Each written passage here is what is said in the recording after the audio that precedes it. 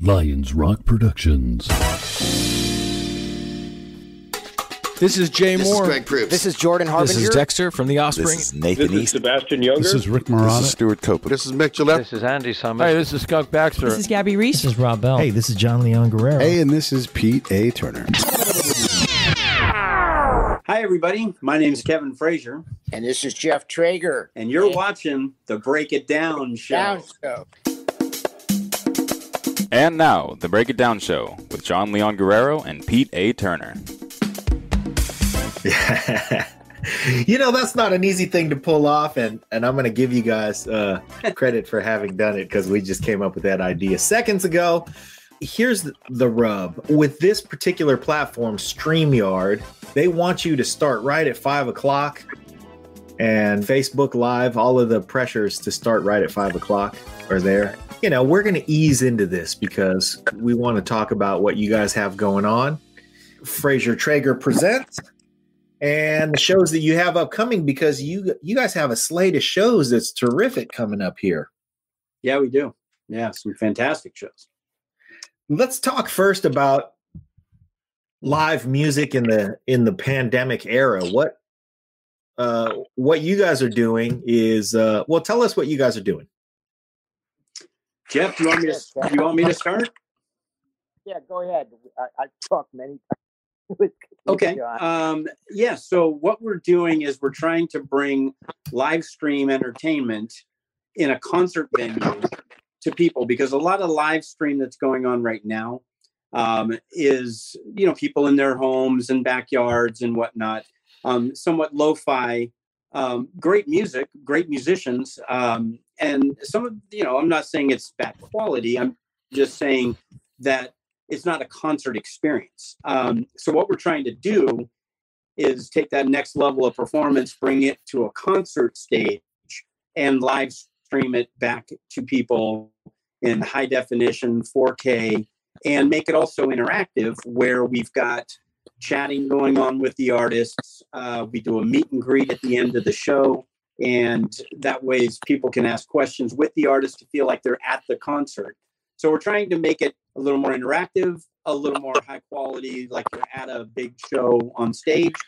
And we're going to be adding some other elements as we're moving forward with some social walls where you'll actually see yourself chatting to the band while the show's going on, things like that. Okay.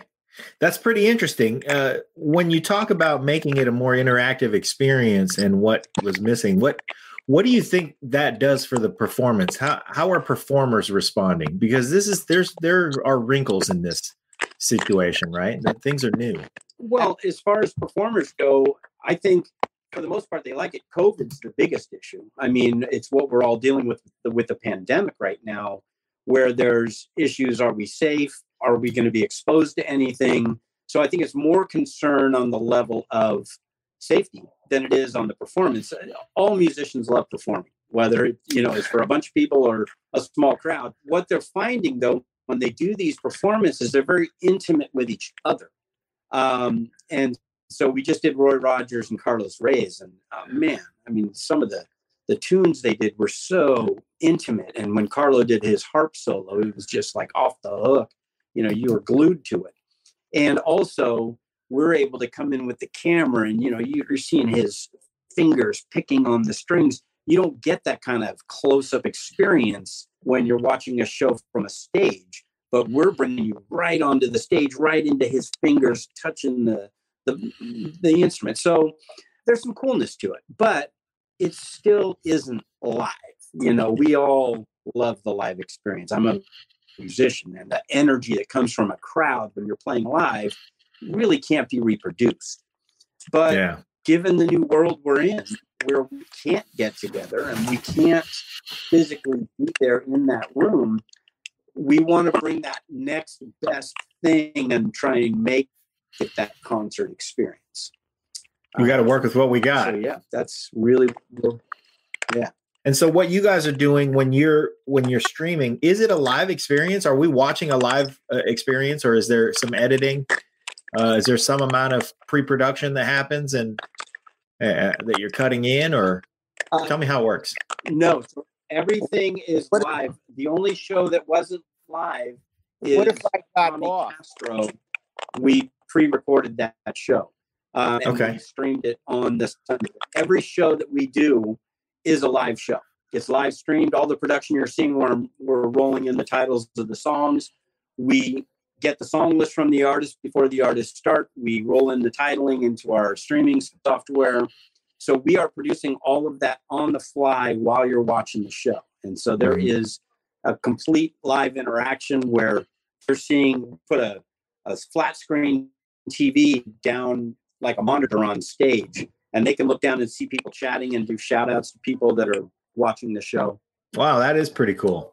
It Yeah. makes makes for an interactive active experience. Uh, your slate of performers coming up. I'm gonna let me just put a link up here because you have uh, you have a calendar of events Yep. that is pretty spectacular coming up, starting Yeah, this we've got some weekend. Actually, This weekend's the Bowena Choir, um, which you know they've been to the White House five times. Beautiful children's choir and great Christmas holiday show. Get the kids in their PJs, have some hot chocolate, and just listen to the Bowena Choir all night. So that's going to be a fantastic family show. And since everybody is hunkered down right now, it's it's a great show to kind of ring in the holidays. And then we've got the Escovedo family, and the Escovedo family is bringing Sheila E. And Sheila has not played with the family in a very long time. You know, she's been super busy. She just did that Grammy show for Prince a few years ago. So she's kind of really blown up again. And so trying to get a hold of her has not been easy. Um, yeah, But Sheila's going to be coming with that show, and we're going to be doing kind of Latin Christmas stuff. So that'll be cool. yeah, that will be awesome.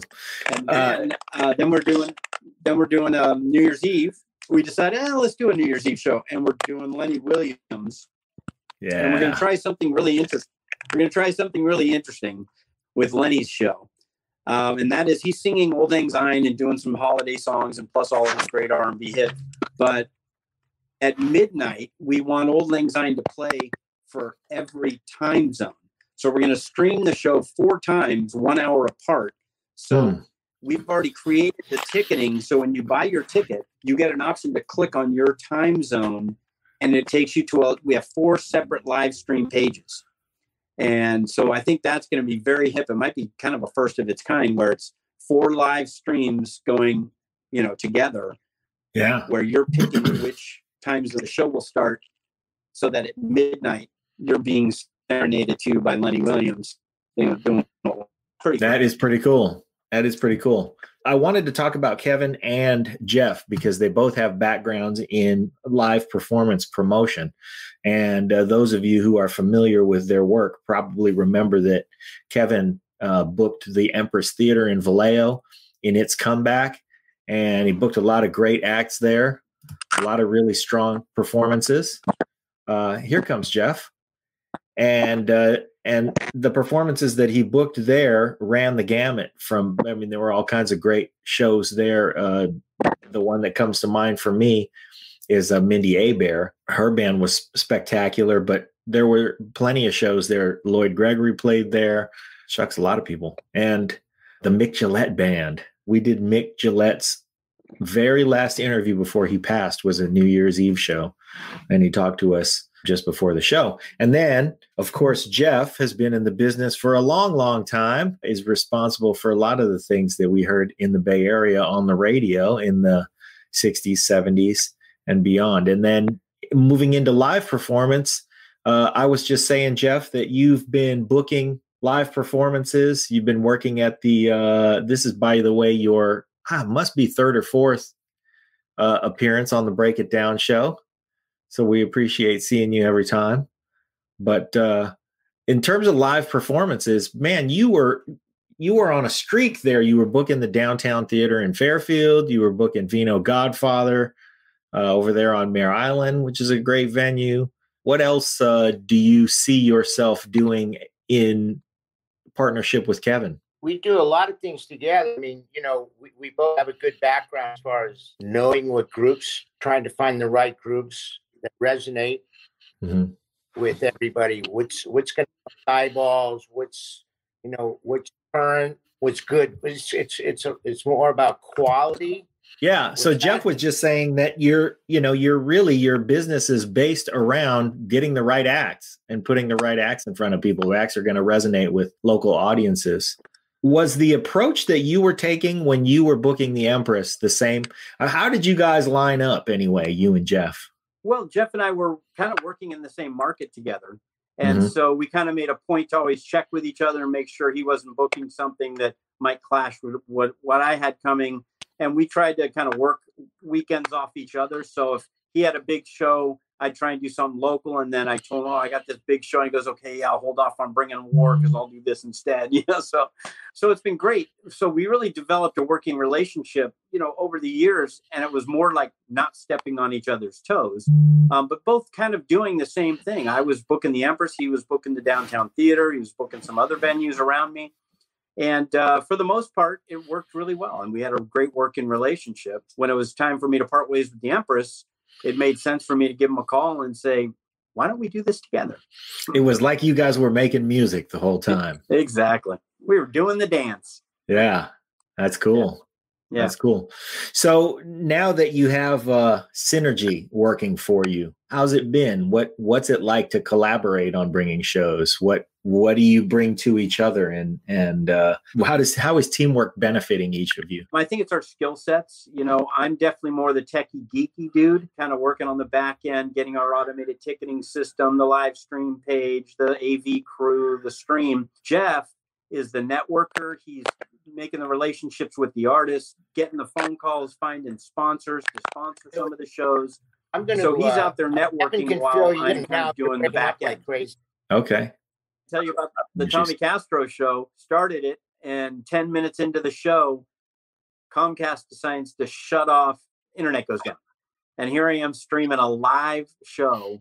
Yeah. So I had to run find new signal and start streaming the show. And I basically just was texting people saying, "We're going to restart the show. It'll start at 6:30," and and we resurrected and got through it. But technology, man, you're up against that sometimes. It really Yeah. can be frustrating because we're all dealing with it. This is nothing new. We've all gone through these technology bumps. Sure. Sure. It's different when the stakes are high though, because you're bringing a live show, and you know, yes, and you've you're got talking hundreds about- of people watching. Right. Yeah. I mean, thou- thousands of people, but also the the the performance environment. I mean, let's face it, we have the ability. You and I can sit here and shoot the breeze all day Right. long. When you have a performance, you know everybody gets everybody gets gets ready Yeah. and prepares for the performance, and then when it's time for the for the curtain to open, so to speak, Yeah. you know your energy level is where it is all that stuff and Exactly. you account for technology when really what you should be accounting for foremostly is is performance so Yeah. yeah. hats off to you guys for doing what you're doing what do you what do you see for the coming year how many of these tech based shows are you uh, are you planning and and what do you think happens next Well, I, I think it's going to be happening well into the, the next year now. I mean, uh, with with the virus, uh, you know, with them coming up with um, the vaccines, they're talking about them getting here around April. Um, so that really pushes us into summer to even late summer before everyone's had it. Then we don't really know how much of the viability once everyone's had it is it gone away or is it gone down? We don't really know what to expect yet. So I think there's going to be trepidation on a lot of people's parts to congregate in big form for a little while, you know. Um, and it's unfortunate too because that that's the whole goal is to go get out there and put on some music festivals and get everybody together, having a good time like like we all used to. And we're Yeah. to get there. It, it's going to come. Um, Mhm. So I think you know, short term, we are going to be relying on this technology probably well into summer and then hopefully by summer we'll start to see some of the live shows coming back and with those live shows i think there still may be a hybrid approach because there's still going to be a lot of people that want to see that show that because this technology now is becoming so prevalent and so many companies are getting their you know systems in place to have these live shows the big boys you know your amazons and your your your large entities want to have these live stream music channels. They're building them out right now. Yeah, So- Spotify, Pandora. Right. Mhm. So- So instead of just having it be a music channel, now you'll actually be able to see your artists and interact with the artists. So if you, what I see happening in the future is a hybrid approach. We'll put on that festival, but we'll also be filming it in 4K for Yeah. those that can't be there live but still want to watch the concert. They'll pay a smaller fee than what they would pay if they were obviously live at the show, but it gives both sides the option to still see that great show Yes. and I think we'll I think we'll see more and more of that that hybrid, and that's kind of what Jeff and I are set up for. Our ticketing system, we already built it to be a hybrid system, so it can do both ticketing and live stream. It can do free, it can do tipping, it can do donations. So you know you've got to keep it to where artists still need to be paid for their art, and that's I think the biggest hurdle that most places are seeing out there is they're doing these Facebook shows and they're doing mm-hmm. these YouTube shows but monetizing them youtube's making money and you know facebook's making Yeah. money by ads and whatnot but the artists still aren't really getting their due you know? Every now and then i talk to some artists and oh yeah i did well on that show. I got a bunch of people together and you know people donated through their paypal account but it's hit and miss you know? And so making it easy for people to do that i think is important and letting people know that it it is important to support the arts just like you would if you're going to get a latte at starbucks you Mhm. know giving five bucks to that artist that you're sitting there watching matters a lot it matters. really- Yeah. yeah it does matter Are younger artists embracing the technology the same way? I mean, are they charging into videos and streaming? Hey, this is Pete A. Turner from Lions Rock Productions. We create podcasts around here. And if you, your brand, or your company want to figure out how to do a podcast, just talk to me. I'll give you the advice on the right gear, the best plan, and show you how to take a podcast that makes sense for you, that's sustainable, that's scalable, and fun. Hit me up at pete at breakitdownshow.com. Let me help. I want to hear about it. Are younger artists embracing the technology the same way? I mean, are they charging into videos and streaming? In a different way. Yeah what i'm seeing within the youth market it's more personal. It really Oh. is and they're really doing it kind of one to one to their market. They're not using even companies like us you know they're going direct to their their end users their fan base. And it's shorter snippets. Songs are kind of more interlude and quick but there's a lot more interaction with their audience and with their fan base and they're very social, uh, much more social than even what we're doing with these live streams. So, and I think we're going to have to kind of morph towards that as as they start moving into the mainstream. That these shows are going to have to incorporate more social interaction, uh, m- more with your fans. We're doing a show with Fantastic Negrito, um, who's won two Grammys, and he's Yeah. third, third Grammy this year. So he had just did a video with his fans off his latest album have you lost your mind yet and he did whole video of his song and he let all of his fans submit video clips of them grooving to his song singing the lyrics to his song playing instruments to his song or dancing and doing yoga whatever and Yes. he mixed the whole he mixed the whole thing in so you watch this video, and it's actually up on our website as the, the promo video. When you buy your ticket before the live stream starts, you can watch this video of the video with his fans. Great video, great concept. How to incorporate your fan base into your own medium, and that's what I was telling you. What I want to do with the social walls is when you're watching a live concert, if you could see your not only just your chat, but you're also a little doom head that's floating up on the back projection at the concert and it shows your little chat message oh I'd love this song you know whatever yours you know and that can be moderated so you keep it you know safe and whatnot but another way to get people like wow i i rolled up on screen during that concert that was amazing you know? Yeah, that ex- it's that same experience that you know when you'd go to the show and somehow the camera would get pointed at you and you'd be like, "I made it to the Diamond Vision." right on the sports you know when you're watching a football game or whatever whenever Yeah. you're on that camera man it's like yeah you know you get fired up You So rock a little harder. That's Yeah. that's what I want to bring to our live streams is is get that kind of social interaction going. And I think that's gonna it's gonna be around. I mean, people are going to participate on that level, and especially the youth. I think Mm-hmm. uh, they're much more technology based than we are. You know, they're Yeah. they're using programs like Twitch. It started out as a gaming channel, but I know they're really trying to turn it into a mu- music channel as well. And these are programs that not only run on your computer, but you can get them on your smart TV and go on to my son. He's sitting here watching these gaming guys on television that Right. playing their computer, but they're watching it on the smart TV. And you don't have to have an Amazon account or what, you know, you're just boom, you pull it on your Roku and there's the Twitch channel and you click on it. You're watching a live gaming competition.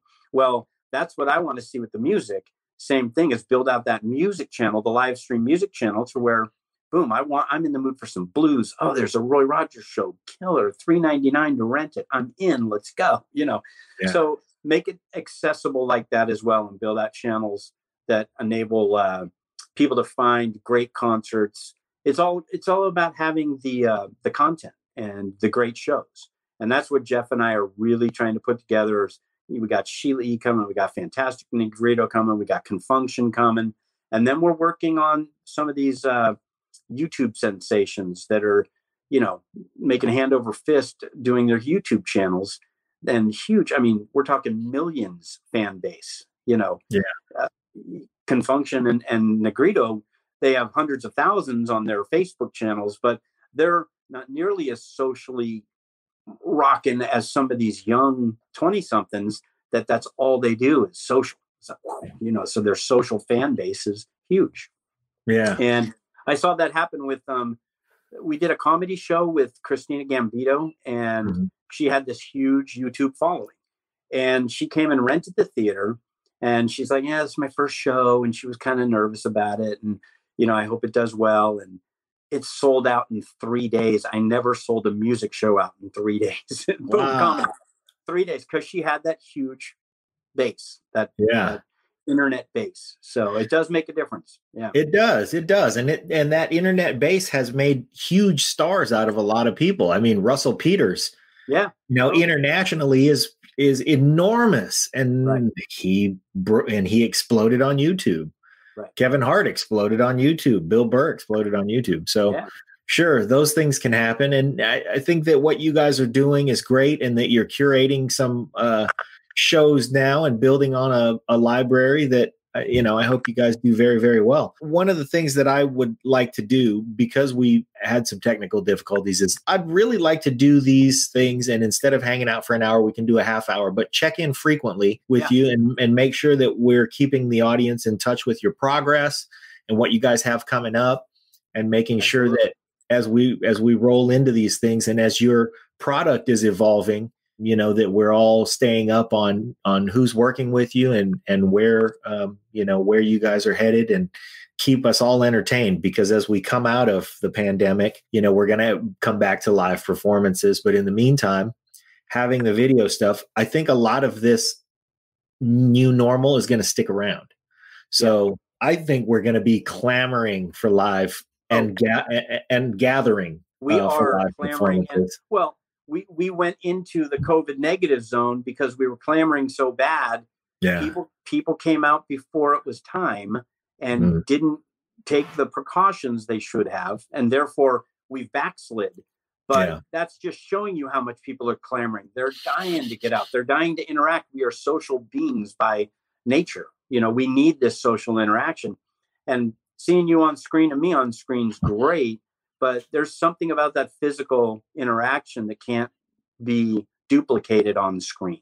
Yeah, you can't replace it. You can't replace it, especially not when it comes to music, because hearing, you know, a great performance from your TV that can be terrific. Yeah.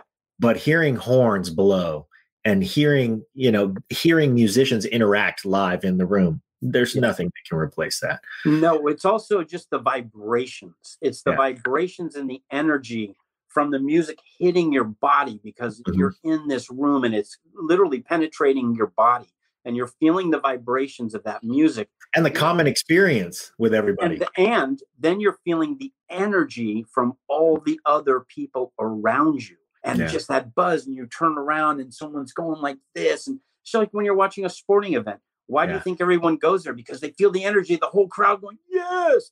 And when someone's cheering at the end of a song, that energy fills you up where you're in your living room, the song ends, and you're going, you Yeah. know, but but that you don't get that same energy. So Right. And you don't get dressed up to sit in your living room either. that too.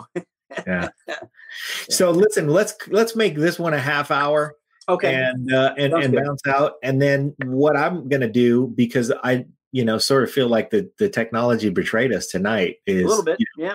I, I'm going to commit to you anything that anything that we can do, anything that I can do personally to you know help you guys bring the entertainment to the world. You just let me know and, and consider me recruited. Cool, cool. Yeah, well, maybe as we get close, the Fantastic Negrito show is in uh, late January, January 23rd, and it's Oh yeah, literally it's the week before the Grammys, and he's up for a Grammy. So it might be cool to circle back right before that show and kind of touch base and kind yeah. of Let's make sure we do that. That'll be awesome, and then we'll be able to recap how the uh, multiple live stream of Lenny went. We'll we'll be able to talk about Sheila playing with the rest of the family. Hey, I'll tell you, I love every Escovedo. There isn't an Oh. Escovedo that I don't love. No, they're So, I'm happy to see them all together. And we'll see what you know what you're doing and how the mission has evolved. Because I, I suspect that even a month from now, you know what you're thinking you're going to do is going to continue to change, and Yep. and uh, you guys are nimble. So We are nimble and we got to be quick, baby. yeah, absolutely. Everybody, this is Kevin Frazier. He uh, Hey, can guys. be. You can reach the stuff. You can reach the stuff at ftpresents.com. See what the slate of shows looks like coming up. Get involved. Watch the shows. Check them out. They're going to be cool. Thanks for coming on. All right. Thanks so much, John. Appreciate it. Terrific. See you soon. All right. See ya.